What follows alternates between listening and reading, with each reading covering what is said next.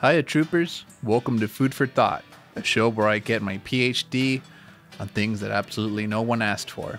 I'm sure you've seen tons of videos explaining the Mandela effect over the years, and it seems that particularly in the last year, it just exploded in popularity, probably because we've all been locked out and throwing conspiracies in our brain. You know, I myself love a good session about wondering whether that, that tuba basket and the Fruit of the Loom logo was actually in the logo or not, or whether it's something we all collectively made up. Now, the human memory isn't perfect, right? Sometimes I can't remember what I had for breakfast that same morning. There's a reason why they don't solely rely on witness testimonies when they're doing legal investigations. And even when you're recalling old times out of nostalgia, you can't help but wonder if things were actually better when you were a kid, or if it's just your memory giving you an idealized version of the past. But one thing's for sure when it comes to a certain thing from our childhood, specifically crayons, there's always been one thing, or rather one company, that's always stood king, and that's our good friends at Crayola. Now, when I was growing up, most notably out of all the alternative crayon brands that everyone would bring up as being definitely nowhere near as good as Crayola, were our good friends at RoseArt. I definitely remember when I was growing up, there was a couple of times where I ended up having to use rose art crayons instead of Crayola ones, and it definitely wasn't a very fun time. Even to this day, I still think that Crayola is definitely the better option in regards to crayons.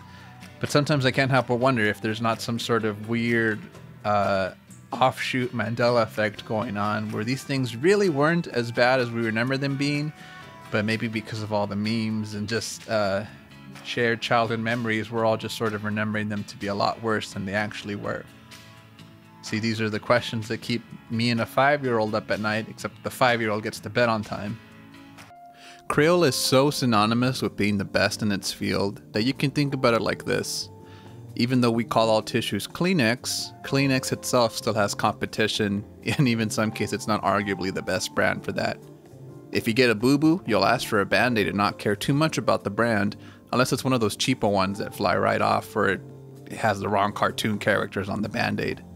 I grew up in a Hispanic household, and we would call our crayons Crayolas or Crayolas which is literally just Crayola in plural because they were just so synonymous with being what you get for crayons. I know this video is going to get into a ton of anecdotal territory here, but if you look across dozens of discussions online and even when you talk amongst your own friends, I'm sure you've heard the supposed horrors of using alternative crayon brands that aren't Crayola, and how much your kid will hate you if you cheap out and get the brand that isn't the best for drawing.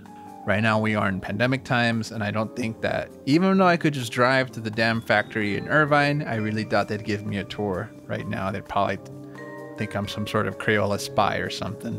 So I think I'll start off with a quick history of the Rose Art Company.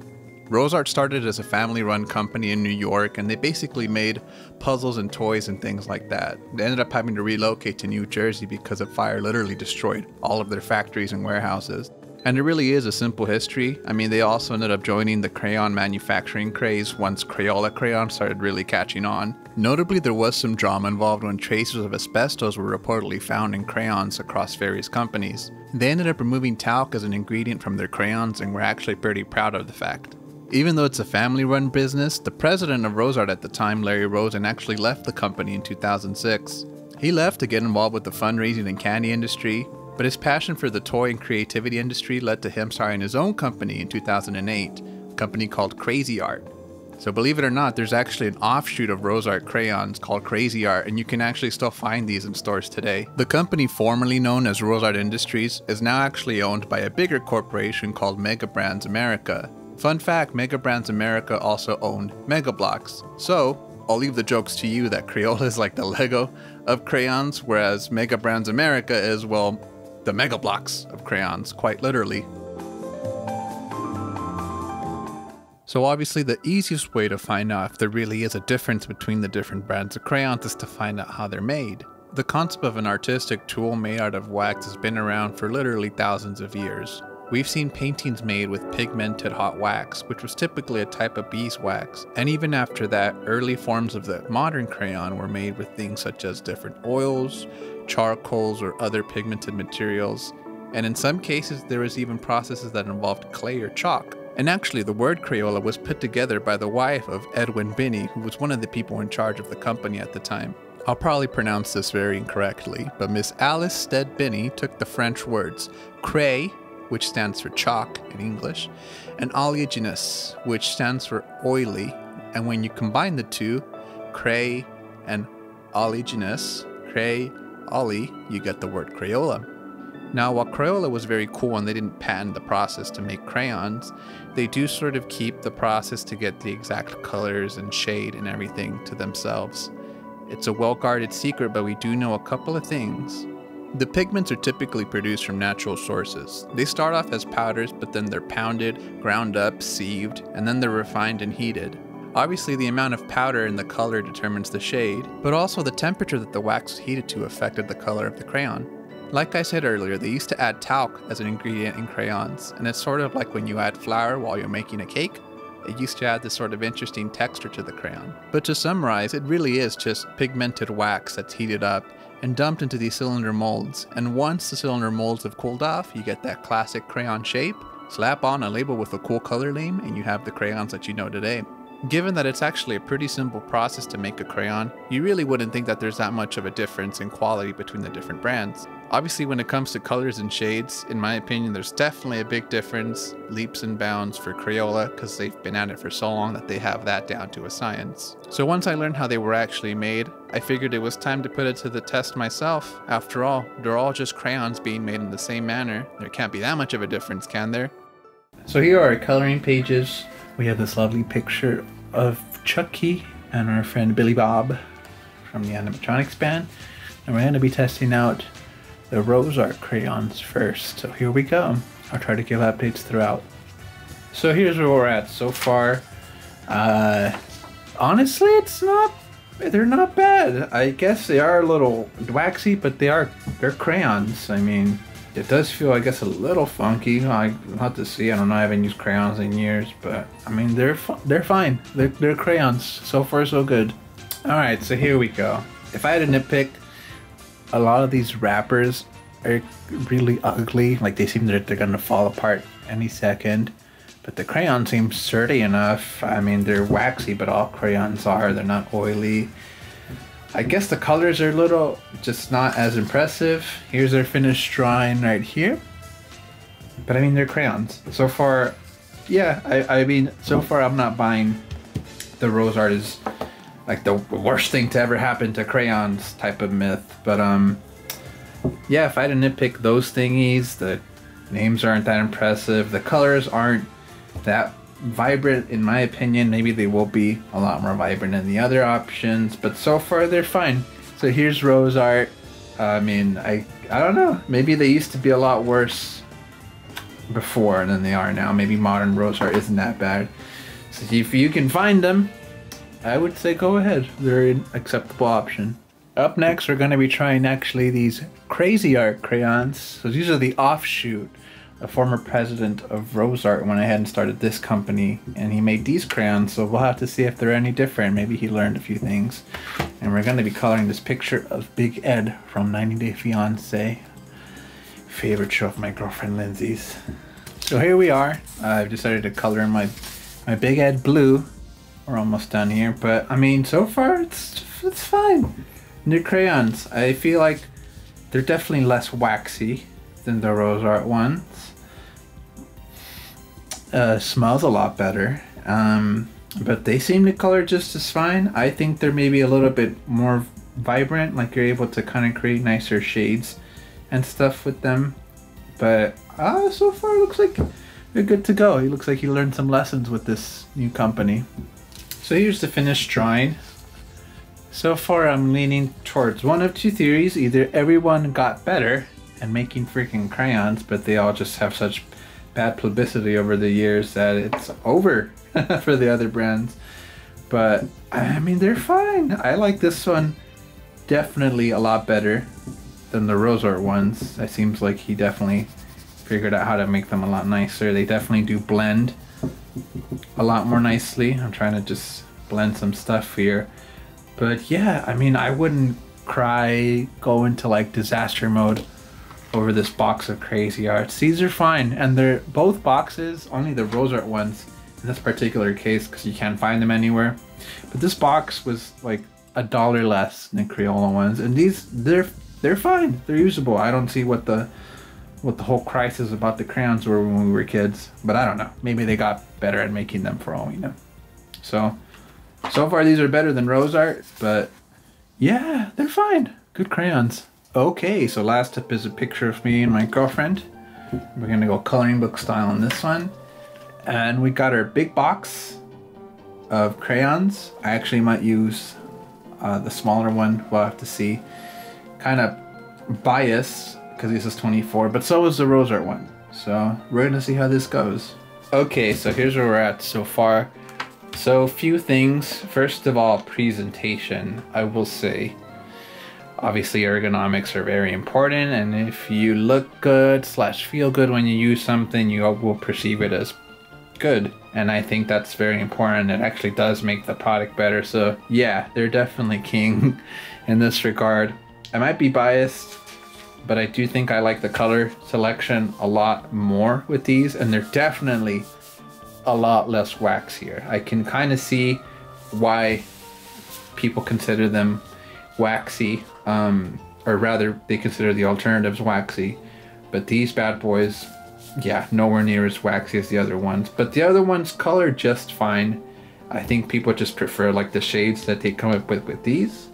Smell test is a lot probably the best out of the three, but I, I can see why Crayola is king. But doesn't make the other ones any less usable.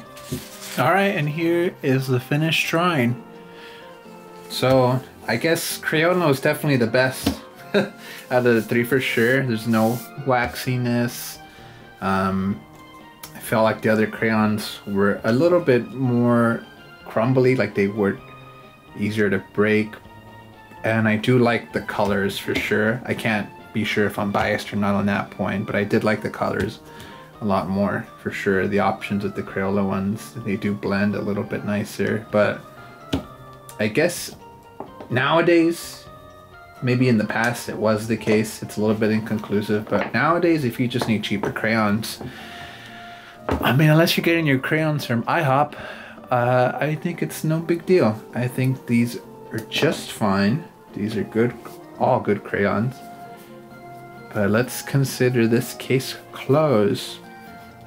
Crayola number one. But the other ones are cool too. so, here we go. Okay, so you're gonna also do the crayon test. We have the three crayons. We have uh, Crayola, the classic. Ta-da we have Cra-Z-Art, the uh, the offshoot Rose Art Company, and then we have the classic bad guy. Perfect hair flip. That way it's not just me. We have a, a test. What's what's the that way we have a sample size of two people, so two is better than one. So we're gonna color each drawing with a different box of crayons and then we'll come back and tell you the results. So, so far Cra-Z-Art is ew. And it broke. Okay. It was okay. I don't think it was terrible. Um, my hands feel fine.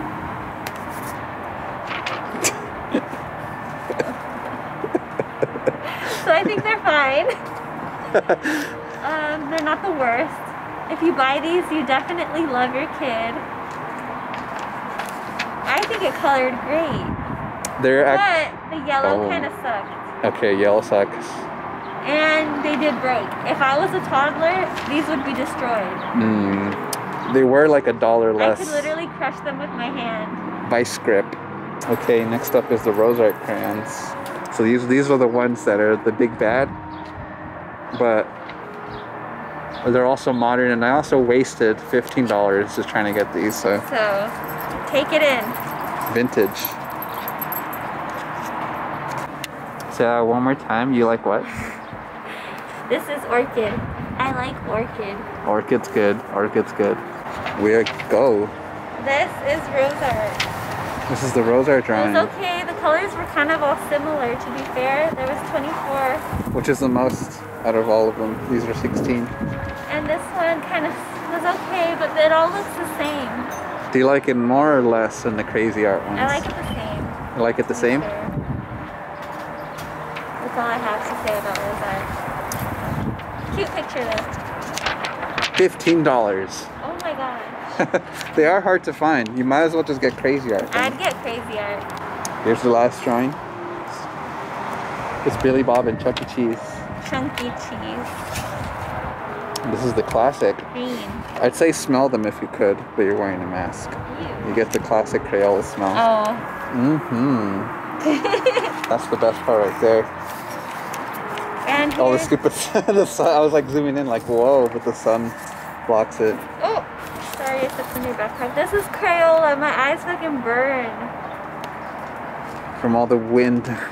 The best part is right there, but you can't really see it. There's a bee, sorry. But Crayola is obviously the best. Look at these fucking vivid colors. Vivid, vivid. Oh god, sorry. Patty. This is Crayola. Sorry for the interruption. I'm gonna deduct the uh, payment for a new lens. Anyways, Crayola the best. these pictures came with the win. Okay.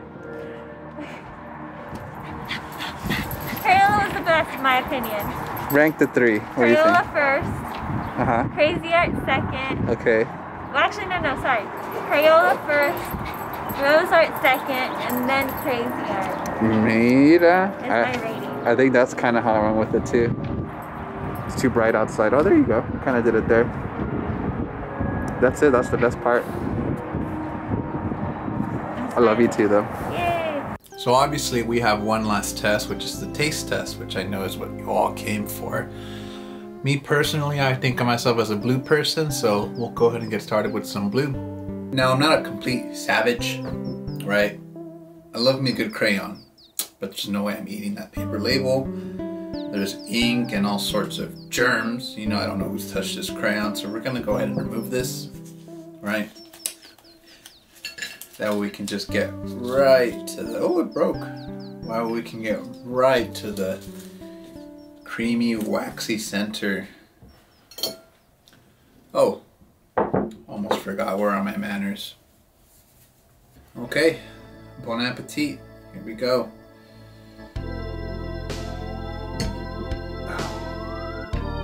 Surprisingly does not cut that well with a knife. Alright.